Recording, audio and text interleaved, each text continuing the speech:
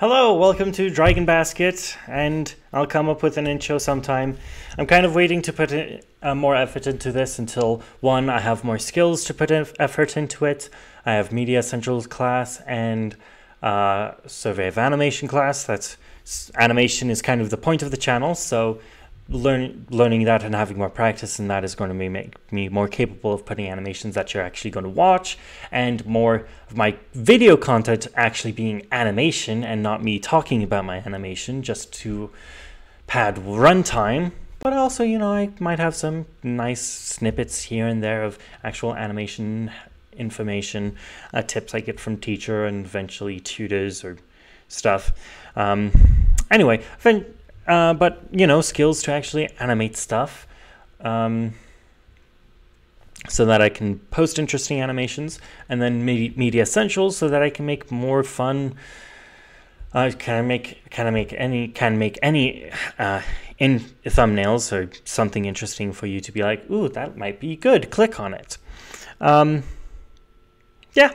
Anyway, so just going to continue do these quick formats. Just ramble at a microphone with uh, some animation looping. Today was a little bit of a struggle because I didn't save my uh, animation in the MonkeyJam format, so I wasn't able to open up how I usually do.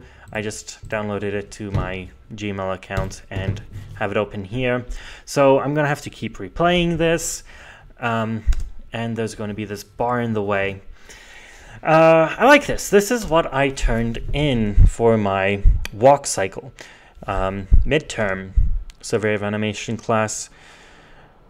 Um, how walk cycles usually work, you have your four extremes and then four in-betweens. Your contact to, contact in between down, down in between passing, so on.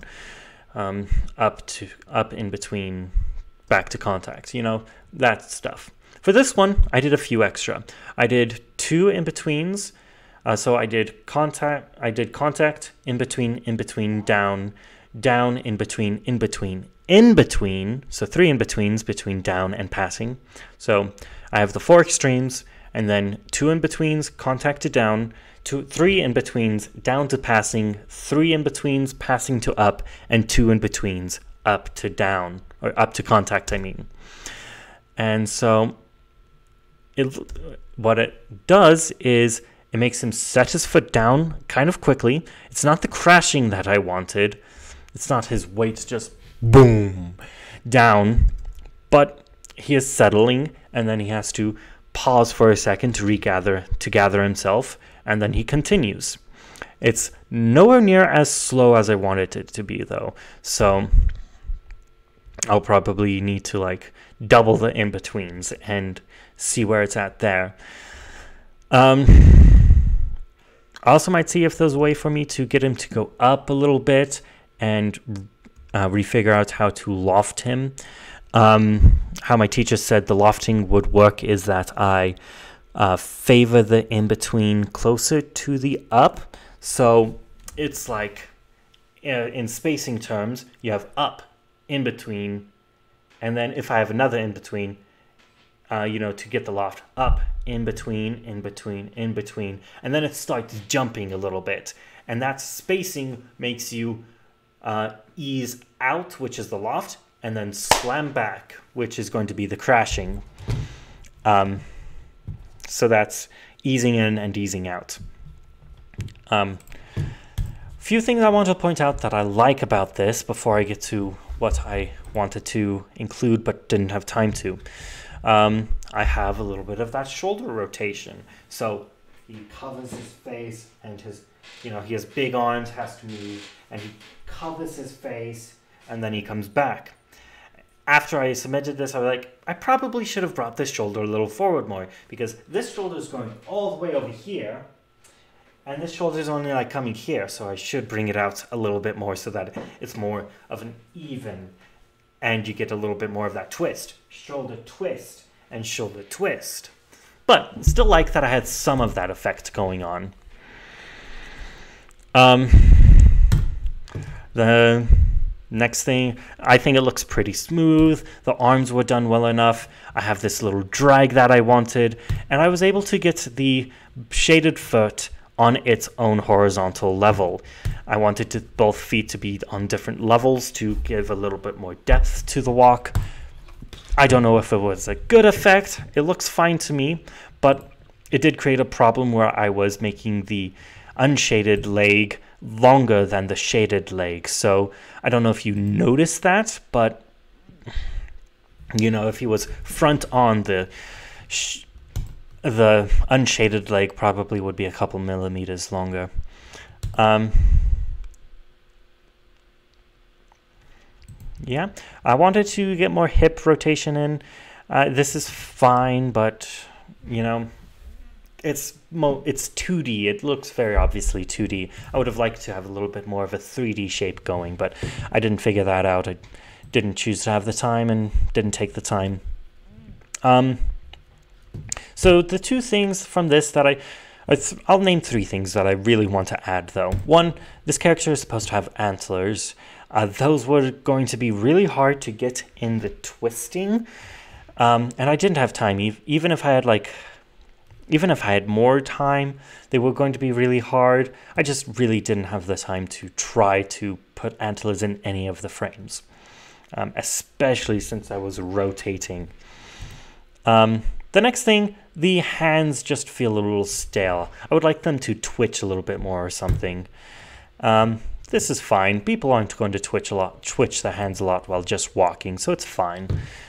Um, and I, th I thought of a new one I'll just mention real quick. I want wanted to be in this down position more. Uh, let me try to find it.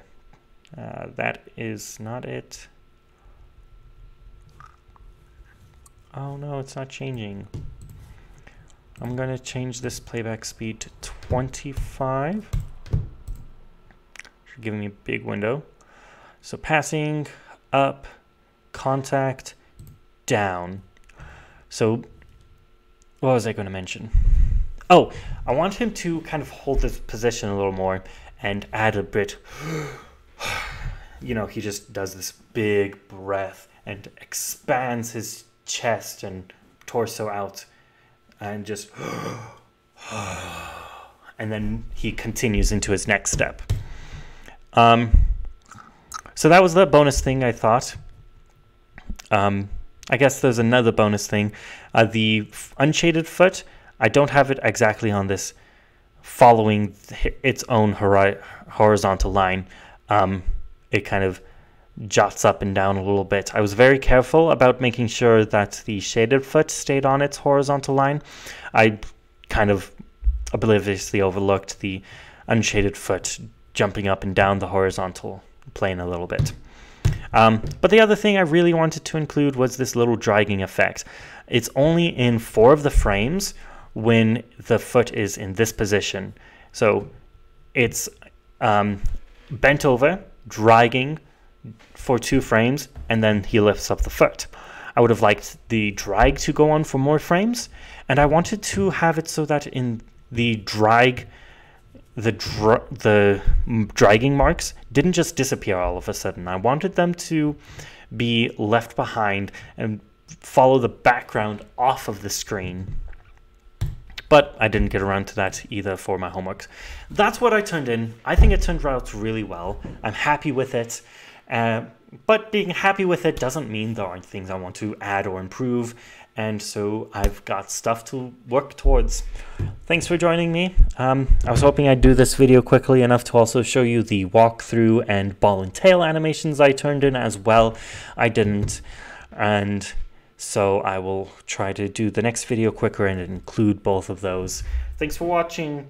Nobody's watching, but somebody may eventually find this video, and thank you for watching.